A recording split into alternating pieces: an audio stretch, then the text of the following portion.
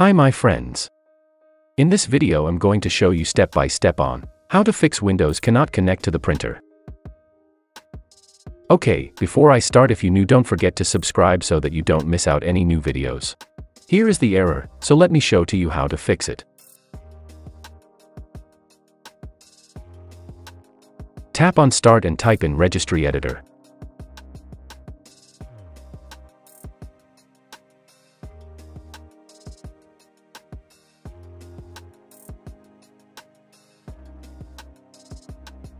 Move this side and expand H key underscore local underscore machine. Tap to expand system.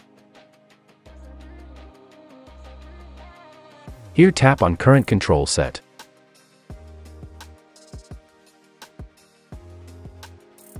Click to expand control. Move down and click on print.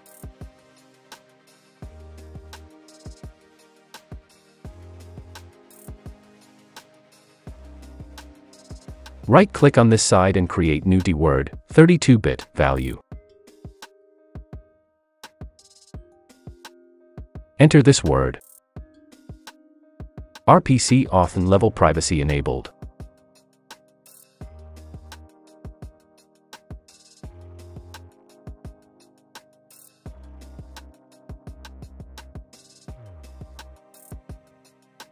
Double-click to open properties and make sure the value data is 0 and then tap on OK.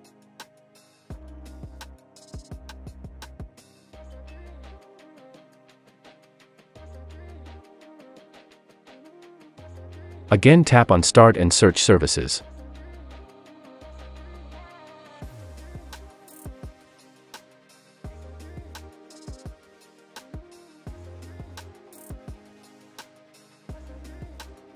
Move down to find Print Spooler. Right-click on it and select Restart. Done. Now let's connect the printer to C.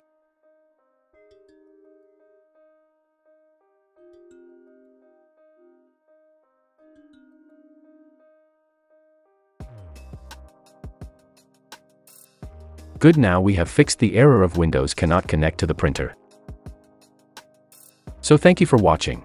We meet in the next video. Have a nice time.